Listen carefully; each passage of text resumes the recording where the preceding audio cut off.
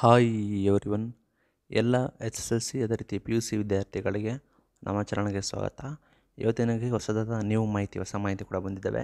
ಇದು shocking news ಆಗಿರುತ್ತೆ ಕೆಲ ವಿದ್ಯಾರ್ಥಿಗಳಿಗೆ. ಇದನ್ನು ತಿಳಿಸ್ಕೊಡ್ತೀವಿ. ಚಾನಲ್ಗೆ ನೀವಿನ್ನು ಹೊಸಬರಾಗಿದ್ದರೆ ಸಬ್ಸ್ಕ್ರೈಬ್ ಸಬ್ಸ್ಕ್ರೈಬ್ ಆಗಿ ವಿಡಿಯೋ ಇಷ್ಟ ಆದರೆ ಲೈಕ್ ಮಾಡ್ಬೋದು.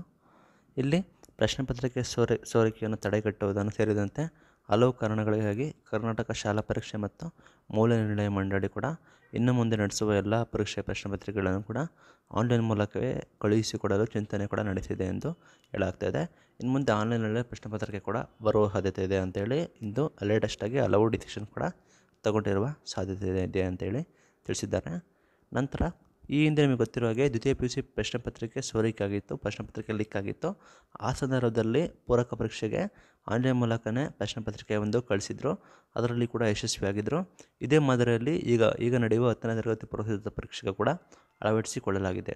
ಹತ್ತನೇ ತರಗತಿ ಪೂರಕ ಪರೀಕ್ಷೆಗೂ ಕೂಡ ಇದೇ ರೀತಿ ಮಾಡಿದ್ದೀವಿ. ಅದೇ ರೀತಿ ಇದು ಯಶಸ್ಸು ಕಾಣ್ತಿರೋ ಕಾರಣ ಇನ್ನು ಮುಂದೆ ಎಸ್ ಎಲ್ ಸಿ ಪರೀಕ್ಷೆ ಕೂಡ ನಡೀತದೆ. ಒಂಬತ್ತು ತಾರೀಕಿಂದ ಪಿ ಯು ಸಿ ಪರೀಕ್ಷೆ ಕೂಡ ನಡೀತಿದೆ. ಐದು, ಮೂವತ್ತೆಂಟನೇ ತರಗತಿಗೆ ಮೌಲ್ಯಾಂಕಗಳ ಪರೀಕ್ಷೆ ಕೂಡ ನಡೀತಿದೆ.